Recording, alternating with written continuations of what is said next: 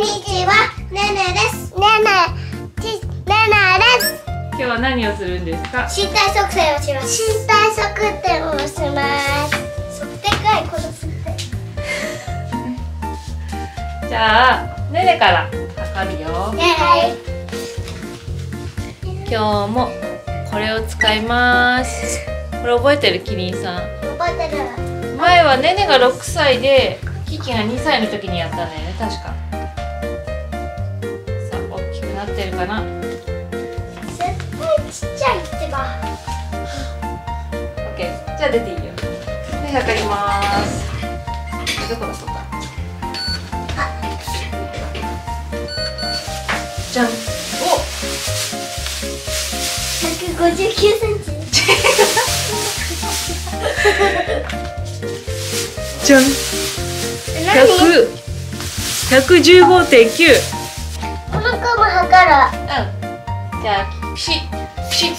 かかとを壁につけてください。もっとかかとこれ。かかとを壁につける。そう。でピシッ。カメラの方見てそうそうそう。よし OK じゃあ出ていいよ。はい測ります。見てた。92.4センチ測るね次だね体重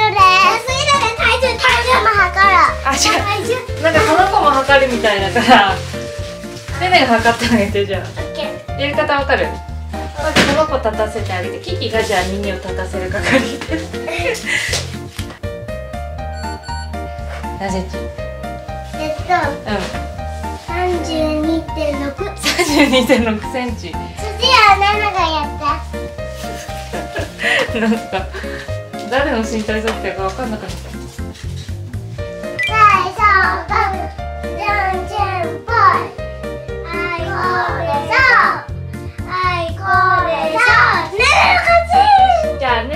ねねからねはいじゃあそれを言って。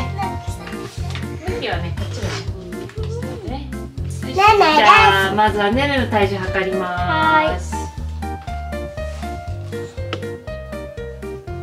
ででん。19.75キロ。でもうすぐ20キロじゃん。体重も順調に増えてるね。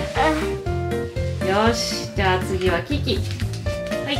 じゃあ測ります。はい乗ってくだはい、さい乗ってください。ででん。13.7キロ。本当はね、5も測ろうかなと思ったんだけど、超えてる。あいよくです。また5は次回測って